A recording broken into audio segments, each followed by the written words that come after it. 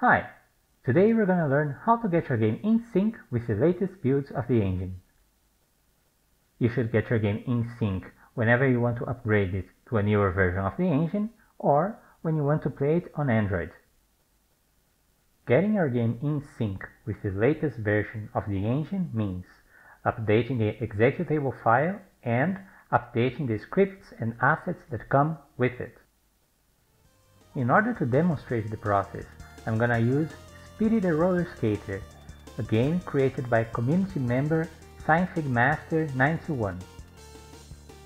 Speedy the Roller Skater was released back in 2021 and was created using version 0.5 of the engine. We're gonna need two things, the game and the latest build of the engine. I'm gonna go to GameJolt.com and search for Speedy the Roller Skater.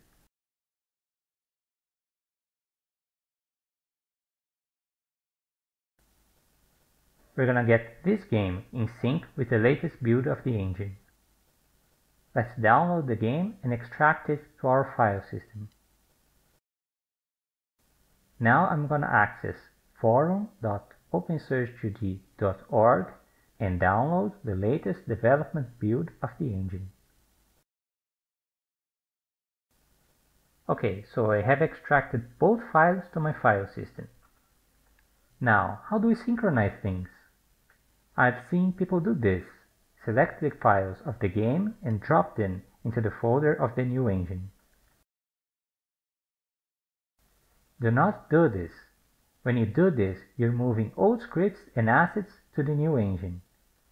This will cause bugs and undefined behavior. I have also seen people do this. Select the executable file of the new engine and drop it into the folder of the game. Do not do this either. The new engine should run with the new scripts.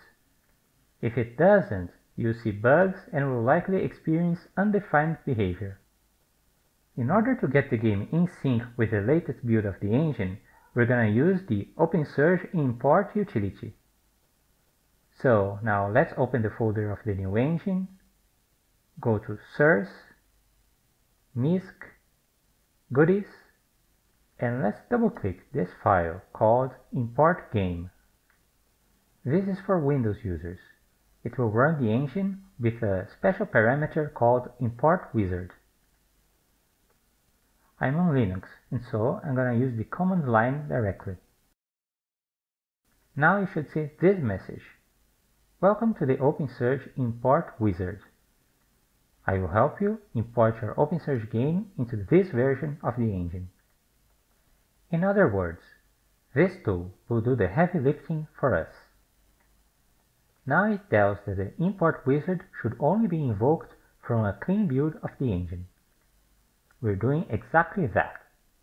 It also asks you to backup your game. Definitely make a backup.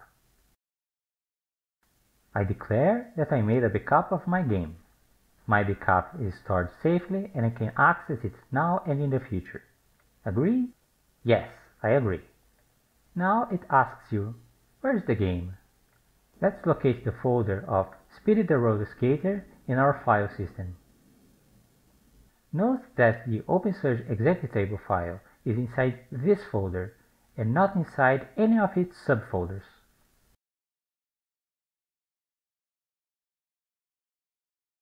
I will import Speedy the Roller Skater.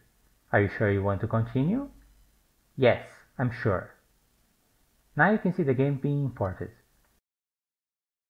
Your game is now in sync with this version of the engine. Good. It is possible that you will see some of your changes missing. If this happens, you'll have to adjust a few things. It basically asks you to keep your assets, like your images, your scripts, separate from those of the base game. If you change those assets, the import utility will bring back the originals of the base game, and so you lose your modifications. The originals will be brought back so that the game gets in sync with the new engine and so that the updated versions of the assets and of the scripts become available. Now it gives you some tips on how to keep your assets separate. Do not modify the images of the base game.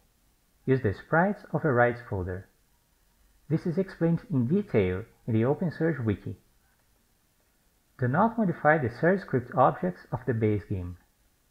Clone the objects, change their name, and save them as separate files. And you can see other tips that will help you keep your assets separate. Now you can check these logs to see exactly what the import utility did.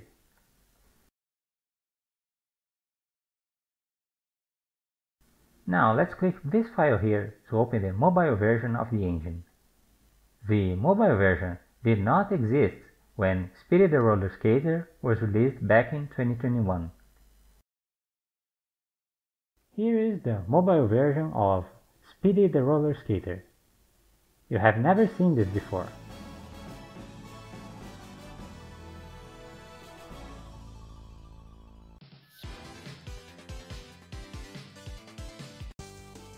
Here's the title screen. It's working pretty well.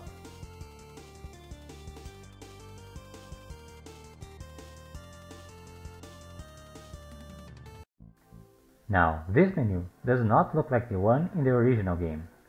That is because scripts of the base game were modified directly and the import utility brought back the originals. If you see changes missing in your game, you should correct them using the chips provided by the import wizard. In any case, it's all still working and we can play.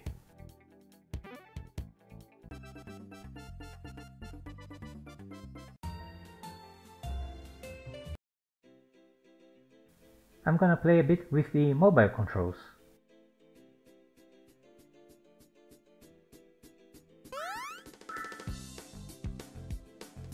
And look, the new pause screen, which did not exist in 2021, is now available.